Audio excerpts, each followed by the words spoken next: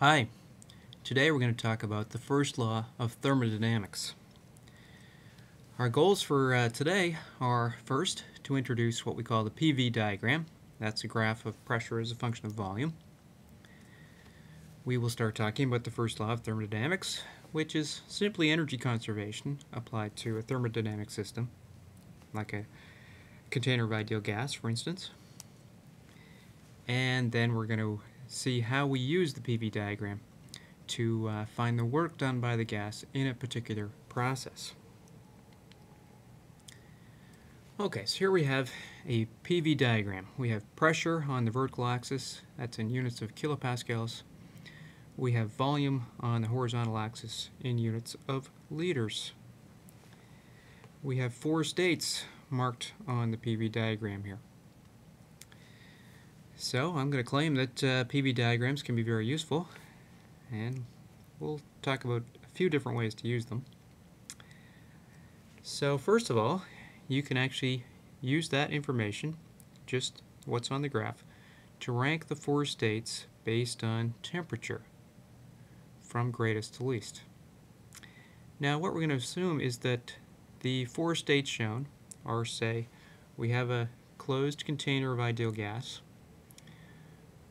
and that same container with a fixed number of moles can be in one of these four states, one, two, three, or four.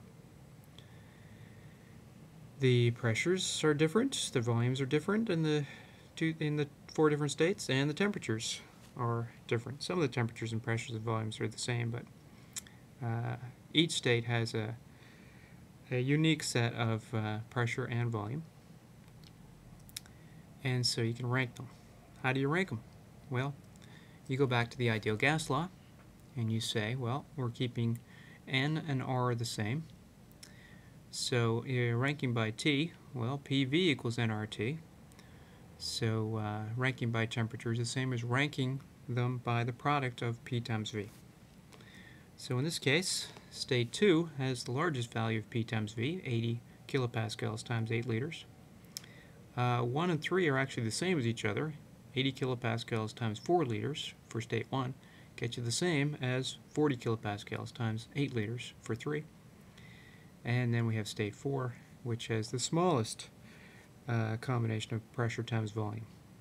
And in fact, the temperature in states 1 and 3 is twice that of the temperature in state 4, because P times V for either state 1 or state 3 is 2 times P times V for state 4. And we also have a factor of 2 in temperature going from state 1 or state 3 to state 2. State 2 has a higher temperature by a factor of 2 compared to the temperature in state 1 or state 3. Again, we're just looking at pressure times volume. And because PV equals nRT, we can say temperature scales as P times V. Okay, so that's one thing we can get out the PV diagram. We can get information about temperature. So we'll take that a little further. And often you do these, you draw these funny lines on the, uh, or you see these funny lines on a PV diagram. And uh, we have a green line here and a blue line with various points marked. And if you look carefully at it, you see on the blue line, for instance, one of the points is at 120 kilopascals in one liter. There's also a point at 60 kilopascals and 2 liters, uh, 40 kilopascals at 3, 30 kilopascals at 4 liters, 20 at 6, etc. There's also be 10 and uh, 12 would be another point. And P times V is the same for all those points. So all those points have the same temperature. So this blue line is a line of constant temperature. So is the green line. In fact, the green line uh, is connects all the points at a temperature twice that of the blue line. And so this is what is called an isotherm, a line of constant temperature, and it's always going to be a curved line like this on a PV diagram. And again, isos isotherms satisfy the equation P times V is a constant. So all the blue points have the same P times V value, all the green points have the same p times v value, and that p times v value is twice that for all the blue points in this particular case. Okay, we will come back to PV diagrams before we're finished today, but uh, let's talk about thermodynamics. We should define it first. What is thermodynamics? And it is the study of systems that involve energy in the form of heat and work. So, refrigerator is a thermodynamic system. A car engine is a thermodynamic system. We've got heat and work involved in all those things, air conditioners, things like that. Okay, so here's a very simple example. We have a water bath that's at a temperature of 90 degrees Celsius, and we put into that water bath a container of ideal gas at 20 degrees Celsius. And this container of ideal gas, this cylinder, has a piston above the gas that seals it off from the atmosphere. Uh, but this piston is free to move up and down without any friction at all. So what's going to happen here is that when you place the 20 degree object in the 90 degree temperature bath, the water bath, we're going to get some energy transferred, and this is what we call heat. Heat is going to be transferred from the hot water into the cooler cylinder. So where does this energy end up? So we have a flow of energy into this uh, cylinder of ideal gas, and where exactly does it go? And we're also going to assume that our, our reservoir of hot water is uh, big enough compared to our cylinder that the uh, water doesn't cool down at all. Okay, we're not going to worry about cooling the water. We're just going to worry about increasing the temperature of the um, cylinder of ideal gas. Okay, so eventually we're going to reach equilibrium, and that means everything's at the same temperature. So our system of ideal gas ultimately ends up at the same temperature as the hot water, 90 degrees. I assume that's Celsius. And uh, our piston has gone up. So the ideal gas has occupied more space. Okay. So we've actually placed the energy that we've transferred into the cylinder. Really, it shows up in two places. One is the molecules of the gas are moving around faster. Okay, that means we've raised the temperature of the gas. And uh, we actually call this as raising the internal energy, raising the average kinetic energy of the atoms and mo molecules. And the gas also did work because the gas pushed the piston further up. Okay, so it did work on the piston. So some went into raising the temperature, some went into increasing the internal energy, in other words, and the rest of it did work. Okay, so there's that same sentence. Uh, now we apply energy conservation to this. So we say the heat we added showed up as the change in internal energy, delta E internal, plus the work. And this is just energy conservation, but we call it the first law of thermodynamics.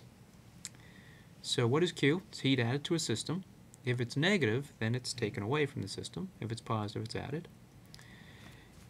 E internal is the internal energy, the energy associated with the motion, the kinetic energy, in other words, of the atoms or molecules. Note that what's in our equation, though, is delta E internal, so delta E internal is the change in internal energy. And it turns out that that's proportional to the change in temperature. W is work done by the system. This may or may not be the same as your uh, what you define work maybe when you saw this in chemistry, but we in physics say W is work done by the system. And the first law is often written in a with delta internal on the left-hand side, so that would be delta internal is Q minus W.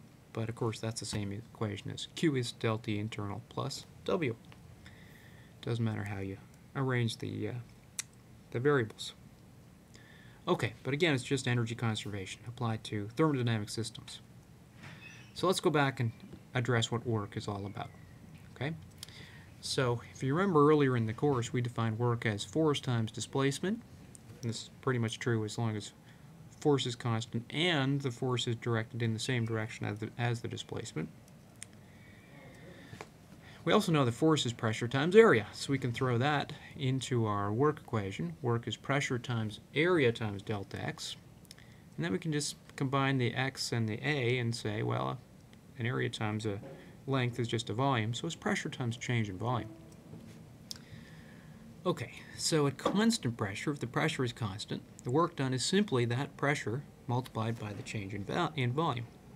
Okay, so you can certainly do this for constant pressure. If there's no change in volume, no work is done. Okay, that makes sense. There's no displacement, so no work is done. That's consistent with what we know about work from earlier in the course. And very generally, this is what happens. The work done by the system is the area under the PV graph. Okay, and this is really why PV diagrams are so useful to us. It's a big reason why they're useful. Okay, so let's look at an example of this. So here we have a system in state 1 moving to state 2 by a constant pressure process. And then from state 2 it goes to state 3 uh, following a, a straight line on the PV diagram where the pressure and, and volume steadily increase. Okay, so in this case we have positive work done. Okay, so if the volume increases, the work done is always positive. Work done by the system is positive. If the volume decreases, you'll find your work is negative. Okay, so in this case, so positive work, increase in volume, negative work, decrease in volume. And this might be a good time to just hit the pause button on the video and calculate the work done in this particular case. And again, it's just the area under the curve.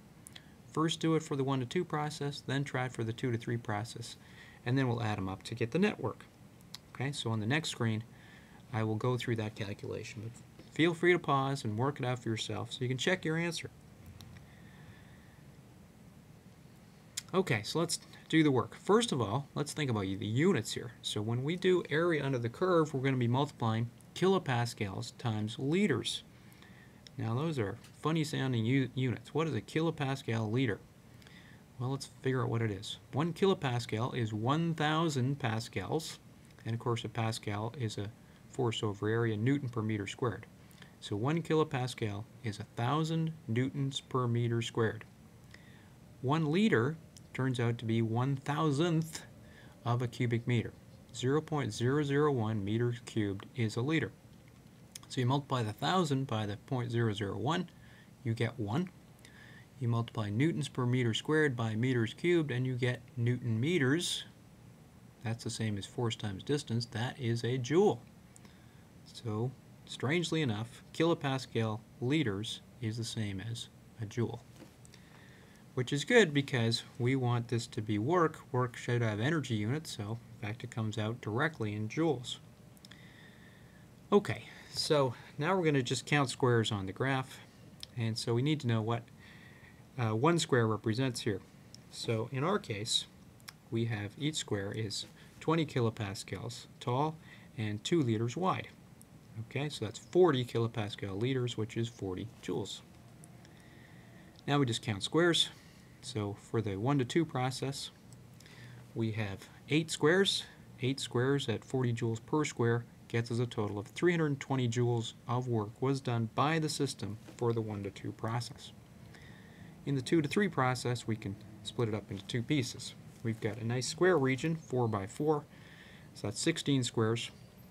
And then the triangular region, we have a total of two uh, complete squares and then another two coming from combining uh, little triangles and uh, partial squares. So we in fact have a total of four, exactly four squares of area in that triangular region. So that's a total of 20 squares in the purple region here in the 2 to 3 process.